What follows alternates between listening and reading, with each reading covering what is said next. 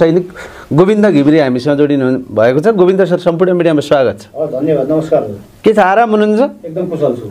आज गौशालामा ठुलै लफडा भयो नि। काठमाडौँ महानगरपालिका र मारवाडी सेवा समाजबिच। हेर्नुभयो त्यो भिडियो? हेरियो।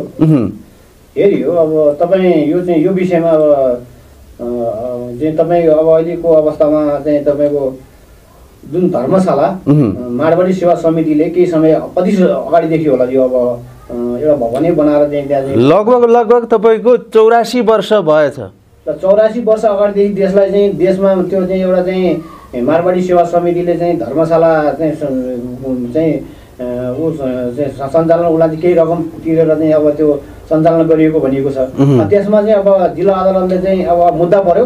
मुद्दा परेपछि जिल्ला अदालतले चाहिँ अब जुन नाजायज सम्झौता भनेर पशुपति क्षेत्र विकास कोषले भोगचलन गर्नु भनेर मारवाडी सेवा सदनको विरुद्धमा फैसला गरेको थियो होइन? अदालतले यही फैसला गर्यो। अदालतले के फैसला गर्यो भनेदेखि पशुपति विकास कोषलाई जिम्मा लाउने र महानगरलाई जिम्मा लगाएर महानगरले चाहिँ अब तपाईँको त्यो अनाथ र असहायहरूको लागि चाहिँ के त पालन पोषण र स्वास्थ्य उपचारको लागि चाहिँ त्यो त खर्च गर गर्नु भनेर चाहिँ अदालतले चाहिँ एउटा अदा- अदालतले फैसला गरिसकेको अवस्थामा जुन स्थानीय सरकार जुन महानगरले चाहिँ के त आफ्नो अदालतले दिएको फैसलालाई चाहिँ जस्तो अदालतले यो नाजायज सम्झौता हो।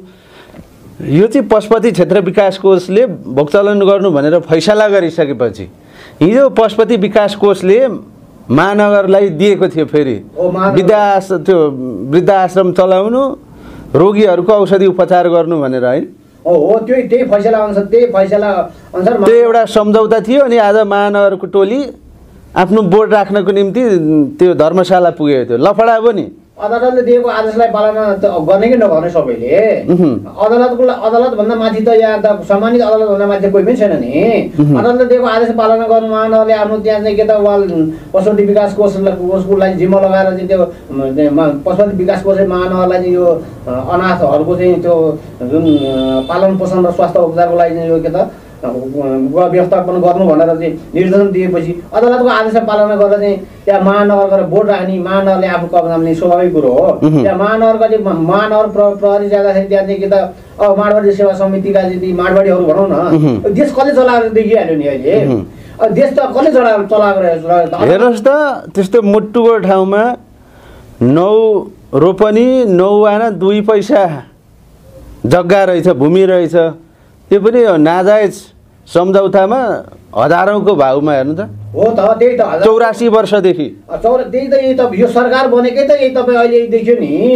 यही अब माडवाडीहरूलाई चाहिँ सहयोग गर्ने यो कसैले कसले बनाएको सरकार रहेछ त? अहिले थाहा भयो नि त।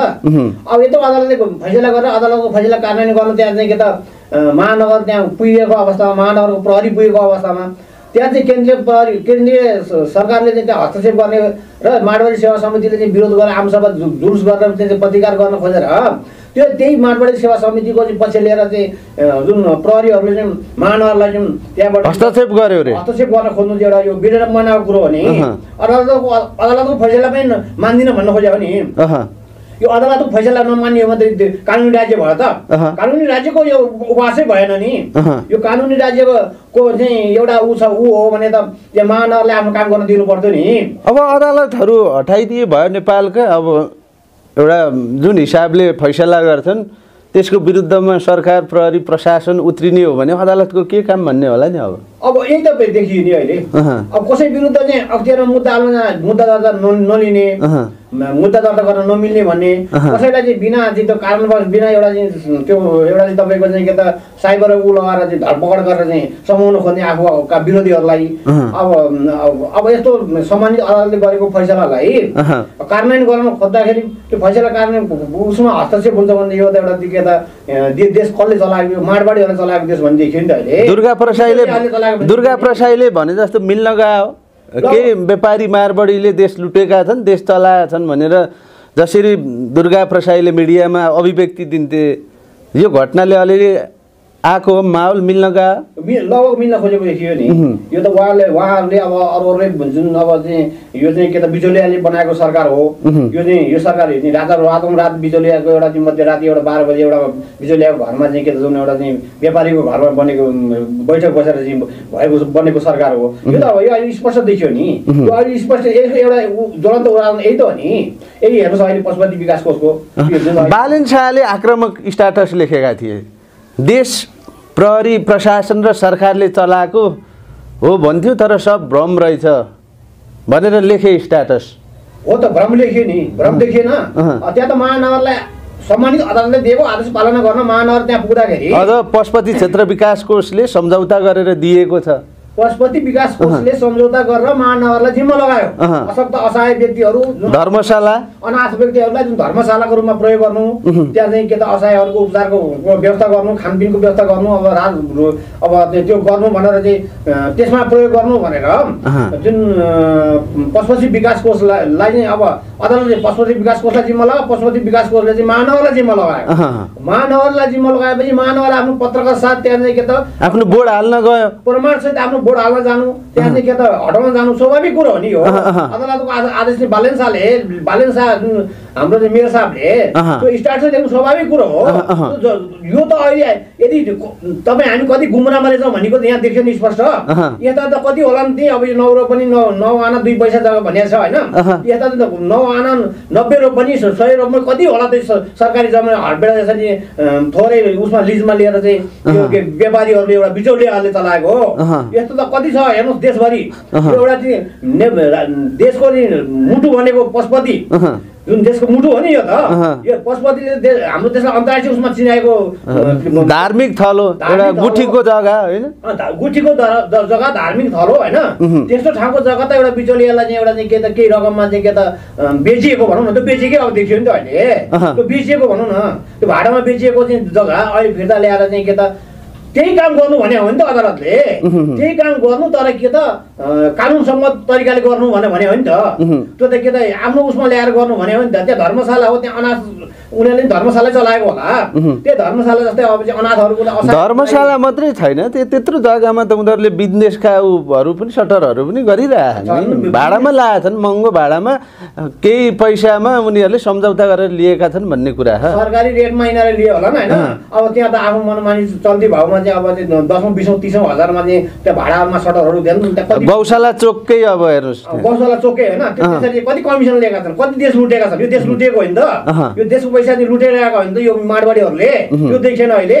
यो हो यो सरकार चाहिँ त्यही बनाएको भने त स्पष्ट प्रष्ट भयो नि। तर त्यो मारवाडी सेवा समितिका मान्छेहरूले चाहिँ महानगरले चाहिँ लुट्न खोज्यो। यो त हामीले समाज सेवा गरिरहेका थियौँ इन्डिया सरकारले बनाइदिएको होटल पसल चलाउन दिएर अब लुट्न खोज्यो भनेर आरोप लाग्यो नि आज। त्यो गलत कुरा हो। महानगरले महानगर भनेको चाहिँ एउटा राज्यको चाहिँ एउटा जुन स्थानीय सरकार हो कि होइन त्यो महानगरको कोही व्यक्ति लिन खोज्यो हो त होइन नि? स्थानीय सरकारले जिम्मा लगायो। स्थानीय सरकारले आफ्नो क्षेत्र अधिकारीभित्र पर्ने चाहिँ जुन आफ्नो महानगरभित्र पर्ने। जुन भौतिक संरचनालाई चाहिँ जुन पशुपति विकास कोषलाई जुन अदालतले पशुपति विकास कोषलाई जिम्मा लगायो पशुपति विकास कोषले चाहिँ महानगरलाई जिम्मा लगाउनु स्वाभाविक कुरो हो यो। यो त एउटा यो जग्गा खोज्दै जानु होइन अदालतमा मुद्दा पर्नु मुद्दा परेपछि फैसला हुनु स्वाभाविक कुरो हो अदालत सम्मानित अदालतको आदेशै नमान्ने। अब एक पछि अर्को अर्को निर्णयलाई नमान्ने। लत्याउने हामी मान्दैनौँ भन्ने होइन। अनि बिचौलियाले जे भन्नु त्यही गर्ने यो त यही त देशमा ब्रह्मलुट। त्यसो भने। बालेन शाहले भने जस्तै भएको हो त। नेपाल सरकार प्रहरी प्रशासन अ, ले देश चलाएको छैन। भ्रममै रहेछौँ हामी भन्ने कुरा गरे त्यो सही हो? सही देखियो नि अहिले। अहँ। महानगरले आफ्नो महानगरको प्रहरी लगाएर आफ्नो जुन क्षेत्राधिकारभित्र आफूलाई दिएको अधिकारलाई प्रयोग गरेर। त्यो ठाउँमा हटाउन जानु। के त उसको आफ्नो नैसर्गिक अधिकार हो। त्यो अधिकारमाथि हस्तक्षेप गर्ने। जुन केन्द्रीय सरकार भनौँ न प्रहरी केन्द्रीय सरकारले हस्तक्षेप गरेको भनिन्छ नि त्यहाँ प्रहरी लागिसकेका केन्द्रीय सरकारले हस्तक्षेप गरेको हो त्यहाँ। त्यो त अब तपाईँको त्यो त कि प्रधानमन्त्रीले आदेश दिनु पर्यो कि गृहमन्त्रीले आदेश दिएन अनुसार न गर्यो प्रहरी विभागले त? प्रहरीलाई त त्यही माथिको आदेश त मान्ने हो नि। सरकारको निर्देशन त त्यो मानेर त्यो सङ्गठन हो होइन? त्यसको निर्देशन मानेर त्यो गएको हो त्यहाँ। भनेपछि यसरी बुझ्दा भयो अब ओली सरकार ले बालेन शाहलाई केही राम्रो काम गर्न दिँदैन। जहाँ पनि अवरोध अवरोध छ। बालेन शाह कुलमानी घिसिङ कसैले राम्रो काम गर्न दिइरहेको छैन नि। एकपछि अर्को प्रहार गरिरहेको छ। बालेनलाई सिद्धाउनै खोजेका हुन्। सिध्याउनै खोलिएको त होला नि। अब अदालतले चाहिँ फैसला गर्ने अदालतको निर्णयलाई चाहिँ मेयर जुन बालेन शाह जुन मेयर साहबले चाहिँ पालन गर्न चाहिँ महानगरलाई चाहिँ त्यहाँ उपस्थित गराएको अब केन्द्रीय सरकारले हस्तक्षेप गर्छ भन्ने त यो त हो नि। अस्ति जस्तो अब खोलाको मापदण्ड अनुसार अदालतको फैसला अनुसारै एउटा स्ट्याटस बाहिर लेख्थे पनि बालेनलाई लडाउने सुरसार गरियो ओली सरकारले दबाउने प्रयास गर्यो। अहिले यो पशुपति क्षेत्र विकास कोषभित्र रहेको यो मारवाडी सेवा समाजले चलाइरहेको जग्गा अदालतले जसरी फैसला गरे अनुसार अघि बढ्दा पनि फेरि हस्तक्षेप हो त्यसो भए। यो नेपालको जग्गा नेपाली यो नेपालको जग्गा यो माडवाडी सेवा समितिले किन दिनु पर्यो। अब यो ठिक हो अदालतले गरेको अदालतले फैसला गरेको योभन्दा गर्ने अदालतले फैसला गरेको खोलाको विषयमा खोलाको बारेमा पनि। त्यो पनि त्यहाँ चाहिँ प्रतिकार गर्ने केन्द्रीय सरकारका अब पार्टीका कार्यकर्ता प्रयोग गरेर त्यहाँ चाहिँ प- प्रहरी लगाएर हस्तक्षेप गर्न खोज्ने अहँ। अब मेयर बालेन शाहज्यू त बालेन शाह त एकदम त्यो राष्ट्रप्रेमी देखियो नि त अहिले अहँ। राष्ट्रप्रेमी नेता देखियो उहाँप्रति चाहिँ लक्षित हुनुहुन्छ अब उहाँ अब आउनु चौरासीतिर चाहिँ यो पार्टी नै सकिन्छ भने अब अहिले सरकारमा पुगेकाहरूले त चौरासीसँग धरपकड गर्न सकिन्छ कि यो बिजोलीले अलिक बनेको सरकार हो यो माफिया भन्छौँ हामी है। तस्कर भ्रष्टहरूले चाहिँ कृति चालसादी नक्कलीहरूले बनाएका चाहिँ यो सरकार हो यो हेर्नुहोस् है। यो सरकारले चाहिँ अब यो जनताप्रति उत्तरदायी हुने हो कि राष्ट्रप्रति उत्तरदायी हो कि यस्तो राष्ट्रको मुटु रहेको जस्तो पशुपतिमा पशुपति क्षेत्रमा एउटा यो एउटा चाहिँ हस्तक्षेप हुनु त विडम्बनीकारी कुरो हो नि हो। जग्गा त त्यो मात्रै होइन नि तपाईँको चाहे बालुवाटार होस् चाहे बाल मन्दिरको होस् चाहे बाँसबारीको होस् नाम जोडेर आउँछ क्या मारवाडी समुदायकै केही व्यापारीहरूसँग खालि। सबैको त्यही त त्यही जोडिएछ त त्यसै त भनिएछ त। यो माडवाडीले बनाएको सरकार हो अब केही मारवाडीहरू भन्नु केही केही सबै होइन सिङ्गो समुदाय त होइन। केही माडवाडी माडवाडीहरू बिजोलीहरू भनौँ होइन अब दलालहरू होइन। यिनीहरूले बनाएको देखि देखि देखियो नि अब हेर्नु। न। यो प्रष्ट भइसक्यो आम नागरिकलाई प्रष्ट भइसक्यो यो। बालन शाहले चाहिँ सही लेख्नु भएको छ। उहाँलाई सही लेख्ने त्यो उहाँले लेखेको स्ट्याटसको विरुद्ध चाहिँ अब सरकार लाएर चाहिँ उहाँलाई चाहिँ सिद्ध्याउन खोज्नु त यो जनतालाई सिद्ध्याउन खोज्नु हो नि त राष्ट्रलाई अहँ। सिद्ध्याउन खोज्नु हो। त्यही भएको हुनाले बालन शाह एकदम सही मान्छे हो सही मेयर साहब हुन्छ होइन यी नेताहरू चाहिँ कहिले सुध्रिने? बालेन शाहलाई चाहिँ जहाँ जाँदा पनि जनताले स्वागत सत्कार गर्छन्।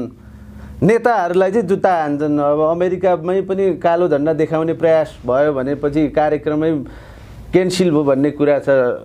प्रधानमन्त्रीलाई पनि बालेन शाहलाई आज फेरि जनकपुरमा हजारौँले स्वागत गरेछन् होइन मन्दिरमा जाँदा अब यो त हामीले प्रश्न देखेको छ नि इन्द्र जात्रादेखि लिएर गाई यात्रादेखि लिएर हरेक यो काठमाडौँमा भएका जुन धार्मिक कार्य कार्यहरू जस्तै हाम्रो उसको कार्यहरूमा त हेर्नु न कति ठाउँमा चाहिँ अब सरकार प्रमुखहरू जाँदाखेरि यदि विरोध हुने बालेन शाह जाँदाखेरि के त नारा लाग्ने सो नारा लाग्दा यही त जनता के छ जनताले के खोजी चाहिरहेको छ जनताले चाहिँ कस्तो नेता चाहिरहेको छ भने अब बुझ्यो नि। नेताहरूप्रति त जनता चाहिँ के त अब तिरस्कृत छन् होइन। अहँ। यिनीहरूको कार्यप्रति जनताहरू चाहिँ एकदम के त ऊ छन् जनताहरू चाहिँ त्यति आक्रोश छन् भन्ने कुरो त्यहाँ स्पष्ट देखियो नि।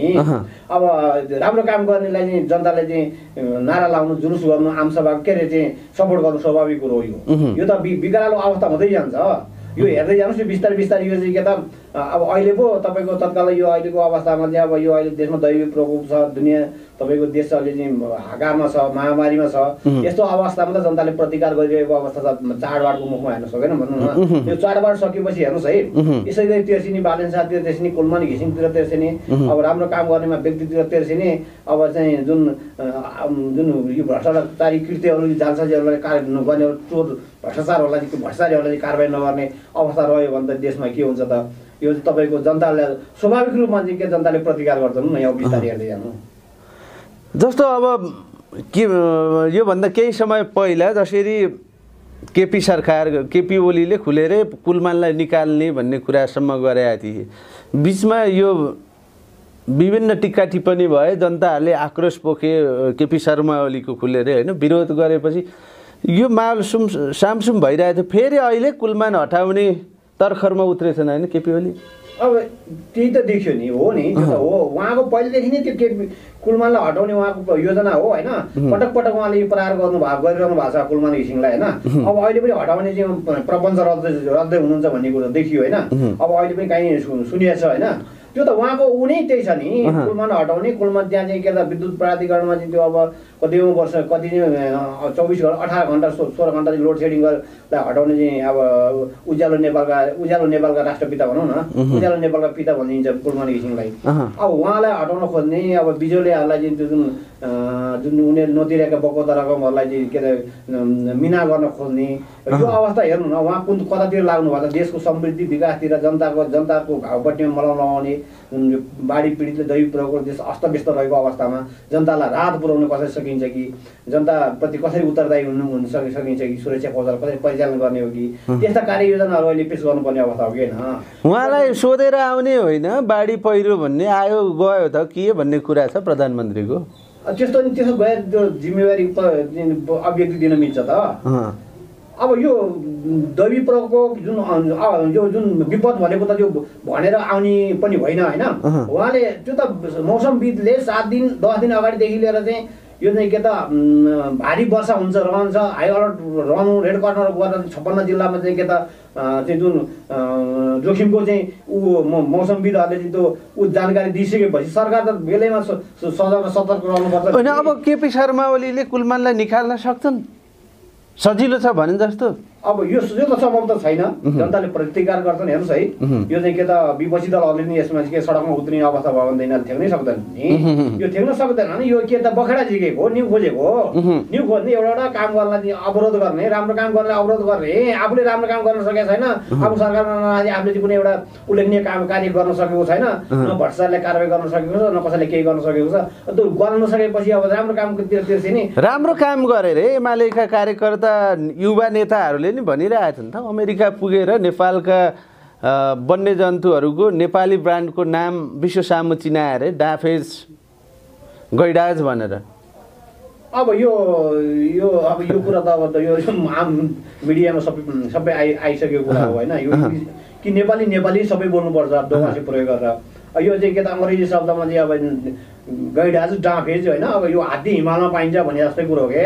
गैडा हिमालमा पाइन्छ अरे अब चाहिँ के चाहिँ त्यो गलत कुराहरू चाहिँ त्यहाँ बोलेर चाहिँ त्यो त्यहाँको त्यो भाषामा त्यहाँको त्यहाँको त्यहाँको चाहिँ त्यो अमेरिकनहरूलाई थाहा छैन त गैडा कहाँ पाइन्छ भन्ने कुरो। विश्वमा थाहा छ नि गैडा कुन ठाउँमा पाइन्छ हात्ती कुन ठाउँमा पाइन्छ हिमालमा हात्ती पाइन्छ त।